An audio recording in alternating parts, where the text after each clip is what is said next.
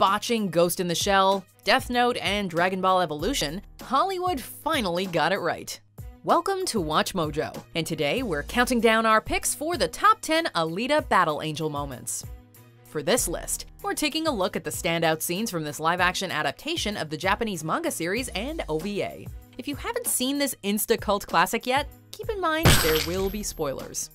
Number 10. Two Tanjis are better than one.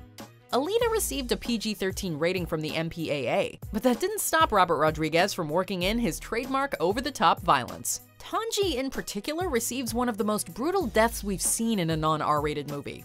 A scrap dealer who doesn't always see eye to eye with his friend Hugo, Tanji might have been lacking in a moral code, but he was a saint compared to Zapan. Using my name? Man, what's wrong with you? I can't do this anymore. Not long after being humiliated by Alita, Zapan sets out to frame Hugo for murder and claim the bounty on his head. I never killed anyone.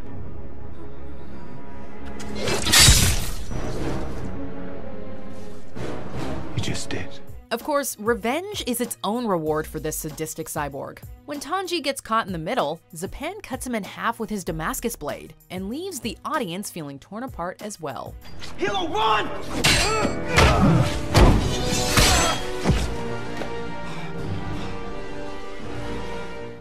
9. Zapan Face Off. As disturbing as Tanji's death was, Zapan's fate is perhaps even more graphic, with or without any blood or gore. Let me make it easier for you.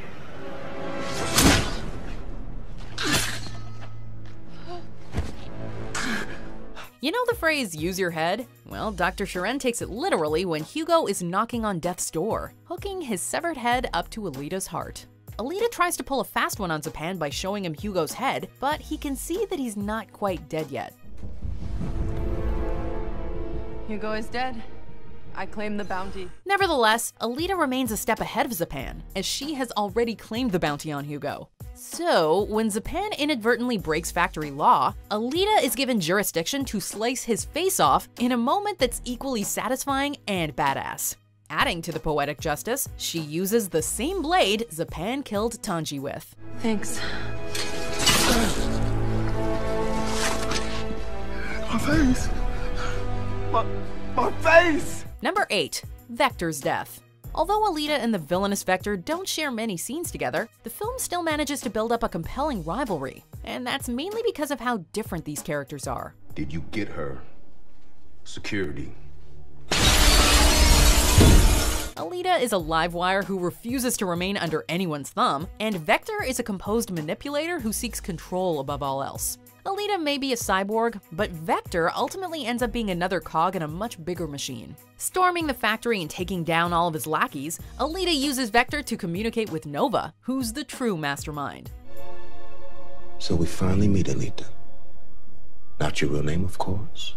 When Nova threatens her loved ones, Alita shows that she means business as well. Following a final stab from Alita, Vector goes down like a puppet that's been stripped of its strings.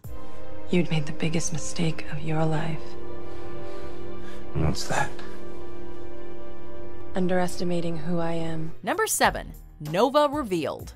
An all seeing eye who looks down on Iron City from the haven of Zalem up above, Nova's presence is always felt, although he's kept concealed from the audience until the very end. Alita has become a champion of the motorball arena, but she has even higher aspirations in the wake of Hugo's demise.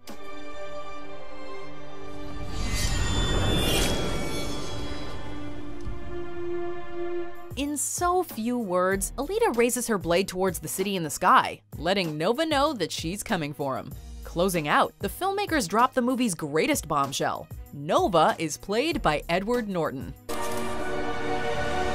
We couldn't be more eager to see these two go head to head. Can we get a sequel greenlit already?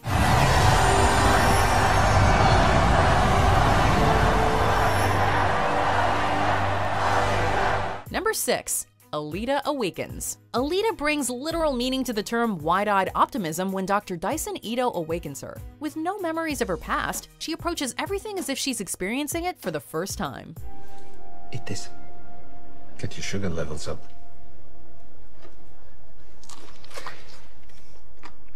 When Alita steps out into the high-tech world, the audience is essentially exploring the area through those big eyes of hers. The Iron City itself is a marvel of production design, looking like a futuristic metropolis if it were entirely constructed from scraps. What's that? Zalem. Oh. The last of the great sky cities.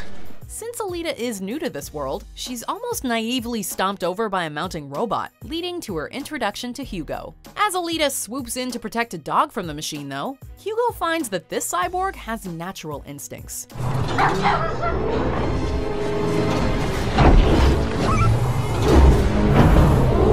Number 5. Ido finds Alita.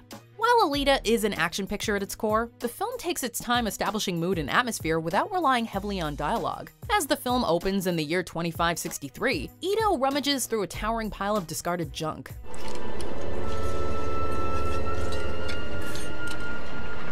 Although he's only looking for spare parts, he finds something that will make him feel whole again. A mutilated cyborg that lacks a proper body, but still has a functioning brain. You're alive? Well, one man's trash is another man's treasure, and Ido sees the potential for a second chance looking into the cyborg's expressive eyes. Back at Ido's lab, the cyborg inherits the body he constructed for his late daughter, as well as her name, Alita. What are you dreaming, little angel? Number 4. A Battle Angel Awakens. Tracking Ido one evening, Alita learns that her father figure isn't merely a doctor, but also a hunter-warrior. Likewise, Ido discovers that his surrogate daughter is no ordinary cyborg. Confronted by a trio of wanted cyborgs, Alita has no trouble smashing in Romo with her bare fists.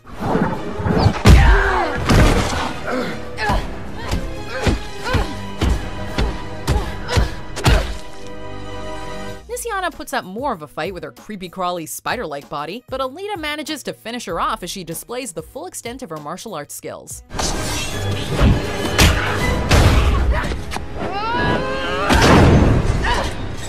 Although ringleader Grewishka is more hulking in size, Alita demonstrates that deadly things can come in small packages, shredding off his arm and forcing the brute to retreat.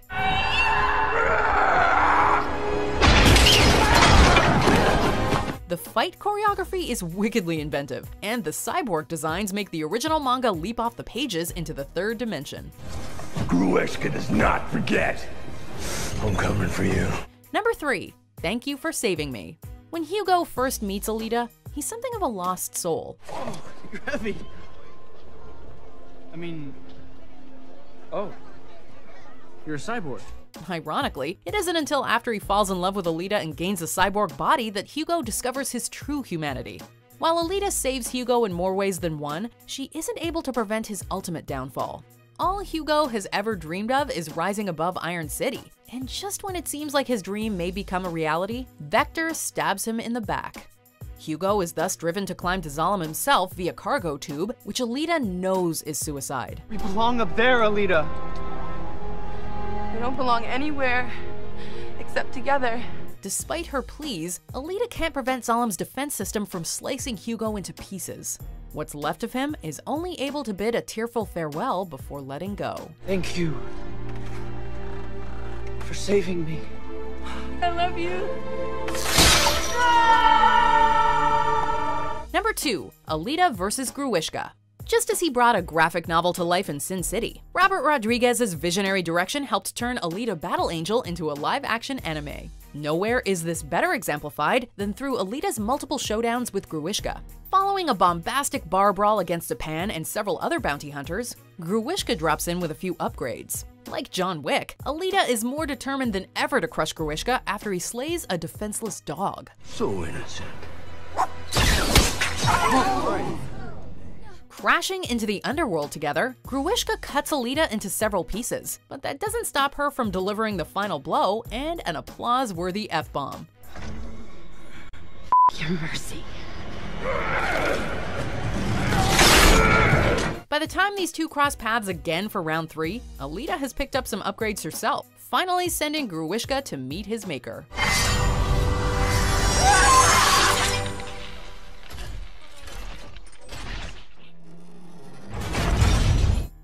Quite at the end yet. Almost there though. Just be sure to subscribe to our channel and ring the bell to be notified about our latest videos. Alright, back to business. Number 1. Motorball. Motorball is one of the most imaginative fictional sports we've ever seen on the silver screen, playing out like a roller derby meets a battle royale. When Hugo introduces Alita to Motorball, it's the equivalent of kids playing street hockey. Ah!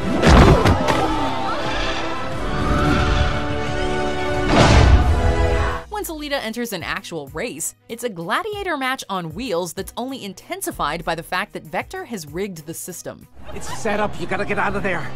They're gonna kill you! Which ones? All of them! Once Alita realizes that her competitors have been ordered to destroy her, survival becomes the new name of the game.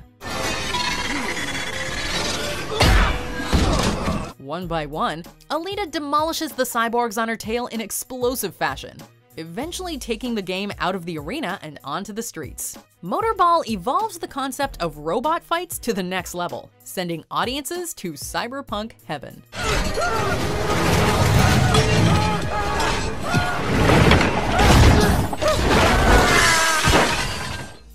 Agree with our picks? Check out this other recent clip from WatchMojo, and be sure to subscribe and ring the bell to be notified about our latest videos.